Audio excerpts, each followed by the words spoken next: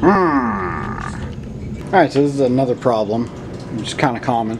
It's a bit of a more, more of a pain to fix, and that's the old wobbly stage slide thingy, this thing, this guy. And, well, it's an interesting design flaw with this particular brand. Alright, so the first thing we're going to do is flip the microscope over on its side like a show. We're going to remove this part first, this little cover. Um, there's a couple of screws in there. If you can see way back there is one, two, and there's a third hidden back there. The third one's like deep back in there.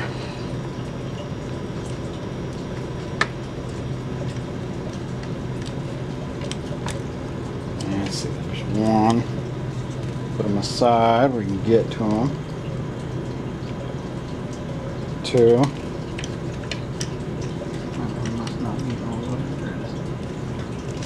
Pop that guy off there. Looks just like that. And get that guy out of there. Um, oh, I can already tell. This help will help explain what the problem is here. I found this.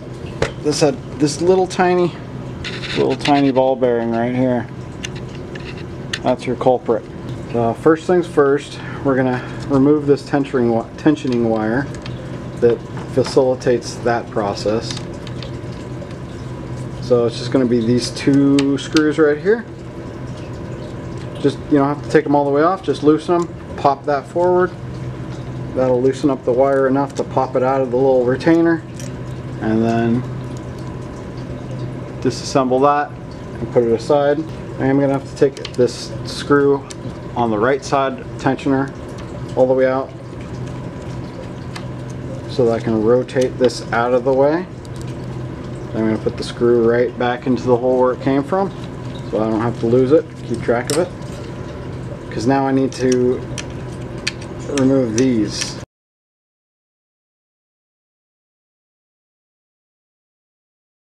I need to lift this part up and off.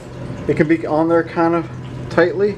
So on the back of this part right here is, oh, that was easy. Well, if it's on there tight, there's a little spot where you can just jam a screwdriver and just kind of pry it up gently. And that'll pop it up. But you don't want to just pop it off real hard because, well, you'll see why in a second. And that there's your problem. See those little balls? See those empty spots right there where there should be balls? That's what the problem is. So those balls tension up against this piece and it holds it steady. And if you're missing some on one side or the other, then that side's going to give it um, room to wobble on. Okay. So I'm going to just put them over here where I put the other one that I had found on the table. Who knows where the other three went. I bet that's okay because we have replacements.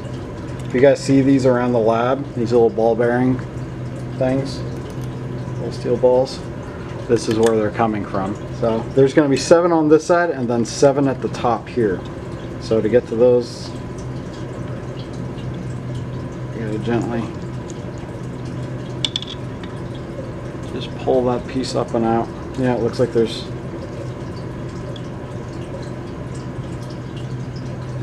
Yeah, I don't see any in that top track there. There's none stuck to those tracks. Alright, so it looks like we're, well, we're missing several. And then there's this piece. Um, there's actually two of these in this microscope. There's this one that's for the cross slide this way, and then there's another one in this piece that facilitates uh, this cross sliding, the bottom, the bottom one. And um, the brass piece for that one is much narrower, and I think it only has eight total ball bearings, whereas this one has uh, 14. So now we're going to go to the microscope tools. So we're going to grab this um, vacuum grease. Any tacky, tacky assembly grease will work. We happen to have this one and it's benign, so we're using that. And in this bag here, it has all the uh, all the parts that we have for replacing the Olympus pieces as needed. And we have a bag in here that has a little baggie that has a bunch of those little ball bearings. There's two bags in there. Um, picture of that part number just in case you need to order it. So we got those two parts and to facilitate this process we're going to need one of these too. It makes it way easier um, and of course that guy. So this part is a huge pain in the butt and to help make it a little easier take this assembly off so all you're working with is this part. Um, and to do that all you need to do is remove these two Allen screws. Alright so I got that part um, this part disassembled. And again I put the screws back in here um, not totally necessary but I just do that so I don't have to keep track of them when you're putting this part together this little thing is going to be pointed up so you don't want to end up like putting it all together with this part down after this next part that's a huge headache and then realize you have to disassemble it to get that part facing up. So remember, this part is pointing up. So I'm just going to basically smear a bunch of smear, a bunch of smear a bunch of schmoo in the track there. Apply liberally. So remember, again, this part is facing up so put that there, put this guy here, rest it there, and then basically I'm going to do my best at lining up the seven steel balls with those holes. Um, and then I'll finagle them better into place later. But I'm going to do my best to line them up along the shmoo, sticking to the shmoo, not this thing, sticking to the shmoo, lined up with those placement holes just the best I can. It's not extremely critical, but it makes it easier the closer you can get to it.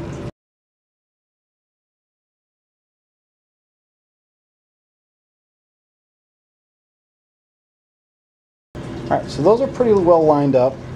Now I'm going to gently press this part against there. And that's it for that side. You gotta try to just not touch it. Just stay. Now for my next trick, I am this time going to shmoo the brass piece. So we don't want to move that top side any more than we have to. You got to do this kind of gently. I don't know if you could see, but there's a screw right here. And then there's a screw right there. Oh gosh. You don't want the balls to have to go over those because they'll be off track and the whole thing will wobble when you try to reassemble it and it won't go back together. So just wanted to point that out.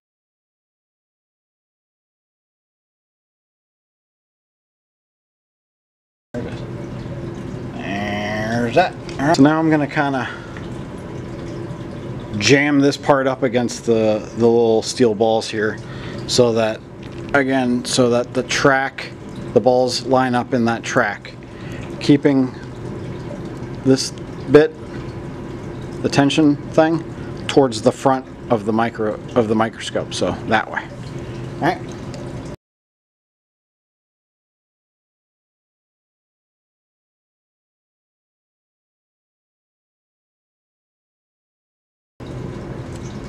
And then you want to tighten this down pretty good.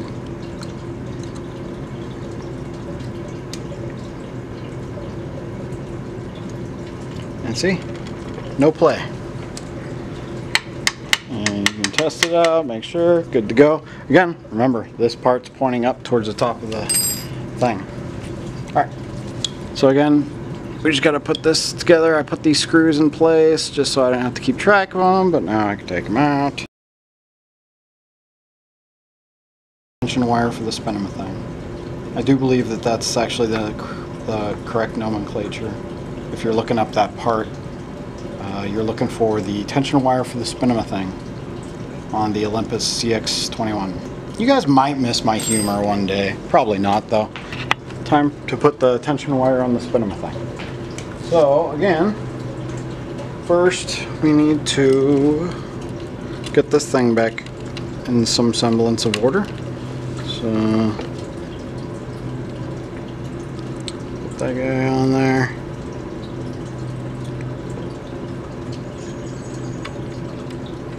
Don't tighten down the screws, just have them in place so that this thing can freely move. So you're gonna put the thing back on, a little bent end. It's gonna go through, there's a little spot back there, and you just kind of hook it in there. And you're gonna run it under this thing. So you're always keeping the wire closest to this um, cast iron piece. And up and around. It's pretty kind of a pain, but not too bad. And then push push this part forward so you can kind of grab that and get it in that little right there whatever you call that. And then pull pull back on this piece pull back as you tighten down the screws. Give it the tension. More tension the better. Doesn't have to be super tight but tight enough. And give those little screws a good tighten and test it. Make sure it works. Make sure it works plenty good I'm gonna actually pull back while I'm rotating it because that'll help this wire kind of get placed on this pulley bit. Not necessary but you're gonna make the best tension if you do that that way. Okay. And that part's good to go. I hope I was recording that. Was I recording? Yes. Okay good. Just talking to myself in the universe now we gotta put the little cover back on. I think this is actually a good angle for that. And as you recall, I kept the screws in this piece, make my life easier. So this screw is gonna have to go through this hole and into that part. And if you get your screw in the hole first, that's the trick to getting this thing back together. Alright, so again I had kept the screws in here, which I just put to the side over here kept them in there, keep track of them. So this part's kind of a pain. Um, get the screw in there first on this back one, and it's got to go through that screw hole there, which hopefully you can see that. And uh, it's, it's just kind of a pain. You just got to be patient with it. It's kind of hard to find the screw hole. Uh. And when you do, don't tighten it down all the way because you're going to have to do the same thing on this side. Leave this middle one because it's the easiest. Uh, get a little bit of clearance going.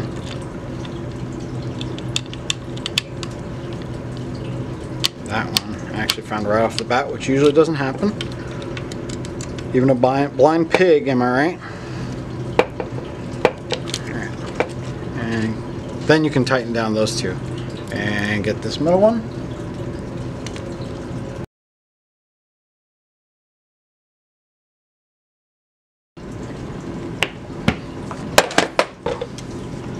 Wobble not.